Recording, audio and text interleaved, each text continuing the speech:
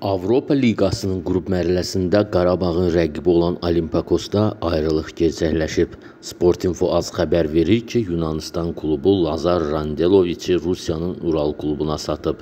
Randeloviç 2018-ci ilin yayından Olimpakosda çıxış edirdi.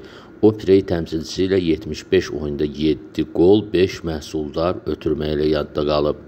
Qeyd edək ki, Qarabağ oktyabrın 6-sında Olimpakosla Yunanistanda, 13-də isə Bakıda qarşılaşacaq.